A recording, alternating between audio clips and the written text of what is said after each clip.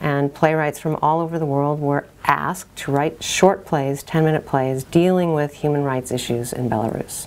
And as an ensemble, make decisions that a literary manager would make at a theater, which is decide which plays are important for us to do for this audience at Bennington and are interesting for us politically, also theatrically, and what we could pull off. And having these discussions, which is very unusual that it really is generally a, a, small group of people do it and those are not the people who perform.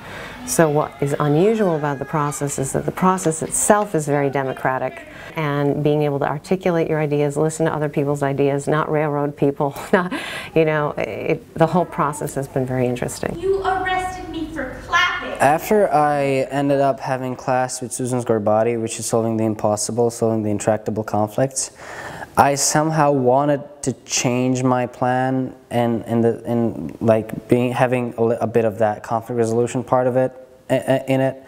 So I ended up choosing Belarusian Dream because it dealt it, it's dealing with human rights and performance, and I thought that was a great combination for me to to, to kind of start and dive into that that, that kind of theater. Because it was happening during the inauguration, a lot of uh, people from outside the college came here. And as we had discussions after the plays and performances, uh, we, we kind of, it was kind of obvious that, that, that, that we made a big impact. If not an impact, then we raised a huge question in, in people's heads. I think right away, I, it just came as the idea of Wizard of Oz and uh, trying to find my grandmother's roots. Having written a first draft, then I brought in um, like an, another Bennington connection. I turned to Jessie Johnson Cunningham, who recently graduated. Her plan was involved in psychology and in playwriting and she wants to work with people involved in trauma. But I brought my first draft to Jessie, and we switched roles. So Jesse became the mentor and I became the mentee. Should I do this? Can I say this? What should I do? And in, in some cases, some of the notes that I wrote, Jesse said, just have your characters say it. So she was very helpful, uh, a mentor for, for me as the budding playwright. And in the process of this, I ended up contacting um, a Romanian student who's a playwright and a graduate of Bennington, and we're doing one of his plays in this upcoming called Children Don't Cry, which is actually, it's not about Belarus, it's about Romania under Ceausescu. It's a fabulous play, and we're on the students are very excited about it. So we found in the course that we could, as people do in the real world, we could make our own parameters. We could make what's exciting for us. Cristian Panaite was uh, is a Bennington alum uh, who wrote one of the plays, uh, The Children Don't Cry.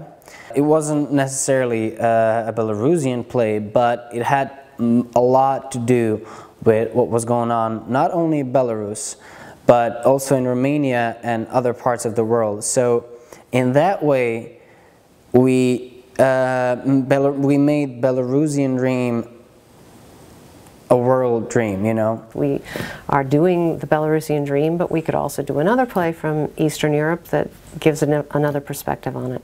The people who were interested in it were, it's very interesting, social science people, um, freshmen, you know, people who are interested in human rights.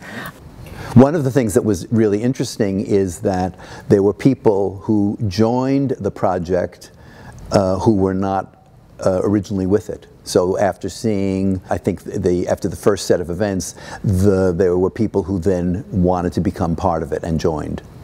And then one student who is from Moldova spoke at the first talkback about how she had been uh, working for UNESCO in Belarus and was pelted uh, with potatoes. She was so interested in the plays and what she had seen that she then uh, participated, one of the, the actors in the, the last set of plays.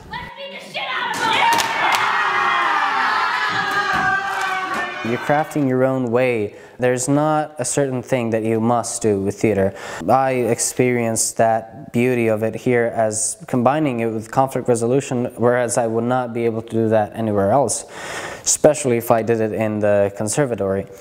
And I think that question of theater, uh, of question, question of why we do theater is really important, not only here, but like uh, overall. So that purpose is uh, literally to raise the awareness uh, of what's going on in the world today, what kind of uh, human rights violations are there in the world today, and how can we use theater to raise the awareness.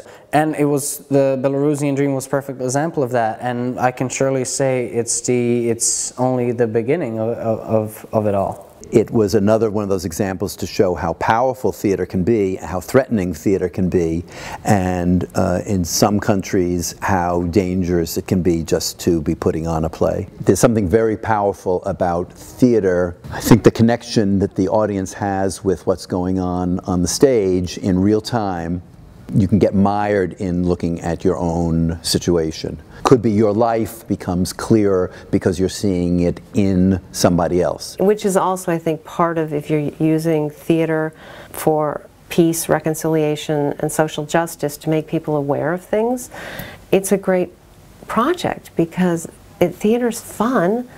Um, I mean, and even if you're doing a, a scene like a prison riot, I, people have a lot of fun.